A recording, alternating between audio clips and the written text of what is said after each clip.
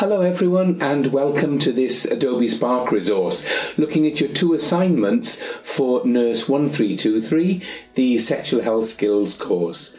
Um, you'll notice I've made two separate videos on this Spark page and one of them is looking at the essay and the other one is looking at the eight step reflective learning analysis assignment. Okay, so tap into both those videos, have a look at those and you'll see exactly how to do them. Over the years since since running this course, right back as far as 2004, I don't know how many people have done it. It's something like two and a half thousand to three thousand. And obviously that means a lot of assignments. And I can tell you the majority of people have really enjoyed them and thrived on them. And that's because rather than setting assignment titles that you have to choose and work to, this is over to you. It's um, um, entirely up to you what you want to write on, and you do that in relation with me as the module leader so we can discuss what you want to do, so I can point you in the direction to do it the best way possible to make sure you're fulfilling the required um, guidelines. Okay, so please check out the rest of this resource and especially those two videos. And if you're still not too sure about things like critical analysis or how to mind map to generate ideas and what synthesis means, that means drawing it all together, just look at the link that I've put on here.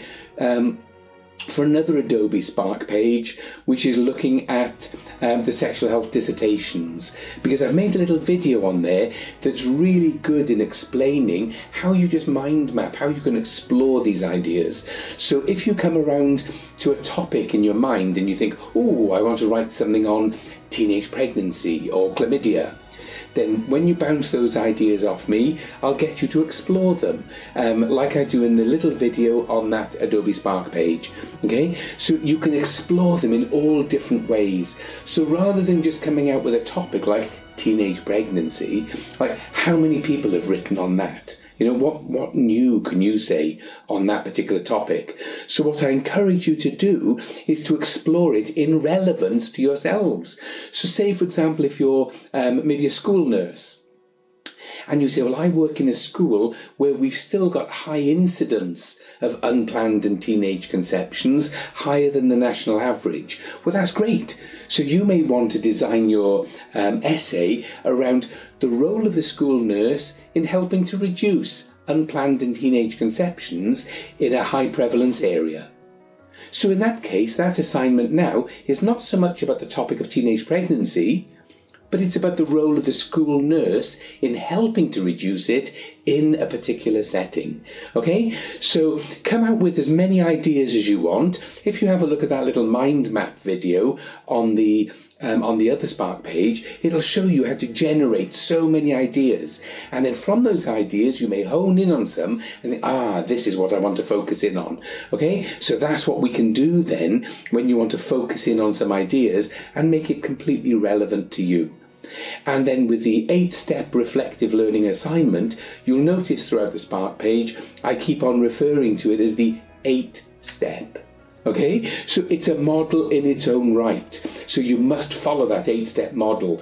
Sometimes I've had students who'll start off the assignment by saying, Oh, the model of reflection I use is by somebody called whoever it is, and they use a four, four step model or uh, um, uh, a, a, cycle in four steps. Well, if you're only doing four and we, re- we require you to do eight, straight away you've only done 50% of what we're asking.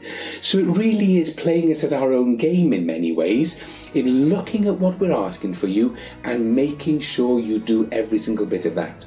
And not just doing what we ask you to do, but when you check yourself against the grading criteria, look at the ways that you can do it to the best of your Okay? And that way I can promise you you're going to enjoy doing these assignments and you're going to get so much benefit from doing them.